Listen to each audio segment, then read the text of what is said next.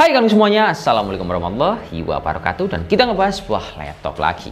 Tapi laptopnya ini termasuk bukan laptop baru menurut saya. Karena di dalamnya itu menggunakan varian Intel i7 K10 Ya menurut saya bukan laptop second juga Tapi ini varian terbaru. Cuman komponennya tidak menggunakan seri yang terbaru. Entah Intel Gen 12 ataupun Ryzen yang seri 6000 series. Tapi uniknya, varian produk ini harganya masih dibanderol di angka 13 jutaan. Bayangin, masih dapat Intel Core i7 Gen 10 tapi harganya kok iya 13 jutaan. Apa sih yang unik dan kelebihan di varian produk ini? Nah, kalau ngomong soal tipe, varian laptop yang kita review inilah varian HP 240 G8 yang di dalamnya adalah varian i7 terus ada beberapa komponen penunjang. Dan varian produk ini memiliki dua buah seri, ada yang varian i5 dan juga i7. Untuk i5-nya dia itu harganya di angka 9.700.000 rupiah. Selisihnya lumayan bro, harganya hampir 4 juta rupiah. Tapi sebelum kita ngomongin tentang spek, kita mau ngebahas soal desainnya dulu. Ini desainnya benar-benar basic menurut saya. Dia itu memiliki material berbahan dari plastik ABS, warnanya itu abu-abu dan pokoknya di angka 1,4 kg. Yang menjadi laptop ini mahal adalah karena speknya di dalamnya memiliki Windows 10 Pro series.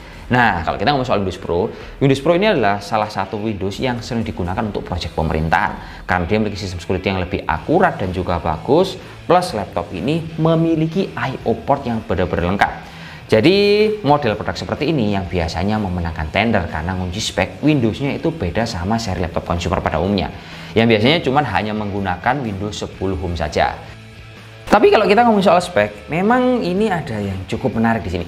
Jadi laptop ini kan masih menggunakan prosesor Intel Core i7 Gen 10 yang serinya adalah 1065G7 yang memiliki kecepatan dasar di angka 1,3 GHz.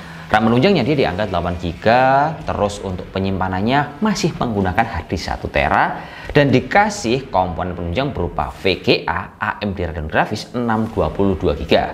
Terus kalau untuk softwarenya ini laptop dibekali sama Windows 10 Pro tapi tanpa Office Pro. Nah dari spek yang udah saya sebutkan, teman-teman pastinya bisa menebak bahwa laptop ini dari speknya kita bisa melihat, wah ini masih keluaran tahun kemarin. Ya betul, ini keluaran tahun 2021. Cuman kalau kita masuk ke dalam dunia pemerintahan, biasanya proyek itu masuknya itu kayak gimana ya proposalnya dimasukkan di bulan Januari. Kadang dia itu realisasi proyeknya itu 4 bulan 6 bulan bisa tahun depan. Makanya laptop seperti ini yang sering kali dicari sama orang-orang project karena dia itu udah memang benar-benar terbatas. Biasanya sih seperti itu. Terus penyimpanannya produk ini support untuk slot M2 series. Nah di sini bro jadi laptop ini selain bawahnya masih hard disk, kita coba memaksimalkan dengan cara nambahin SSD NVMe dengan kapasitas 256 GB supaya nanti kinerjanya jauh lebih kencang. Terus kalau kita gunakan di berbagai multitasking, dia berpernyaman. Selanjutnya pas kita nyobain file laptop ini untuk berbagai aktivitas dan tentunya setelah kita upgrade, wah ini para bro istimewa bro. Karena kalau menurut saya, kalau kita ngomong soal seri upgrade, nambah SSD itu sekarang udah murah bro untuk 128 GB harganya kira-kira di angka 4 ribuan. Kalau untuk SSD yang kapasitasnya 256 GB kira-kira harganya di antara 600 ribuan dan itu tergantung merek apa yang kalian beli. Ada yang 500, ada yang hingga 800 ribuan. Biasanya yang mahal itu punyanya merek Samsung. Nah, jadi pas kita pakai laptop ini kan dia ditunjang sama hardware layar yang nyaman tapi tidak terbaik, Bro. Ukuran layarnya itu dia menggunakan ukuran 14 in, resolusinya masih HD. Terus produk ini untuk layarnya juga dia menggunakan panel TN. Tapi untungnya varian HP 240 G8 ini dibekali dengan kecerahan di angka 220 nit serta akurasinya di angka 45% NTSC. Dan kameranya seri laptop ini dilengkapi dengan resolusi di angka 720p yang menurut saya hasil gambarnya cukup standar alias basic. Tapi kalau kita ngomong soal penggunaan, keyboardnya termasuk enak dan dibekali sama audio yang nyaman di telinga bro.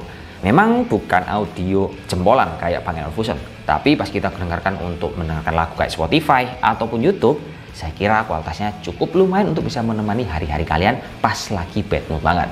Nah, dari beberapa hasil pengetesan, tadi kan ini laptop sudah kita upgrade SSD-nya. Jadi memang pada dasarnya laptop ini sudah memiliki VGA disk grafis dari AMD Radeon Graphics 620 series. Pas kita gunakan untuk tes benchmark, tes gaming, dan juga beberapa tes yang lain, hasilnya cukup nyaman bro. Karena ini laptop menggunakan varian Intel i7 Plus. Mungkin kalau kita ngomong soal project, ini akan menjadi salah satu spek yang bisa jadi hasil kunci-kuncian karena speknya itu menggunakan Windows 10 Pro terus memiliki kelengkapan I/O port yang bisa dimajukan dalam proposal kalian. Mungkin ini segmented. Kalau kita melihat dari speknya ini terasa kurang worth it the beli. Cuman ada di beberapa bagian kalau kalian ingin memaksimalkan performa laptop ini, saran saya ketika teman-teman beli laptop ini mendingan ini di-upgrade untuk penyimpanannya supaya jalannya nyaman bro. Karena nambah SSD lebih murah tapi efek sampingnya ini akan benar-benar terasa di beberapa penggunaan kalian.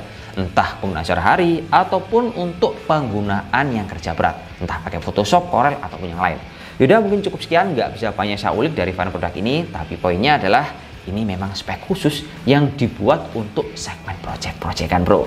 Oke, terima kasih. Wassalamualaikum warahmatullahi wabarakatuh dan semoga bermanfaat. Oke.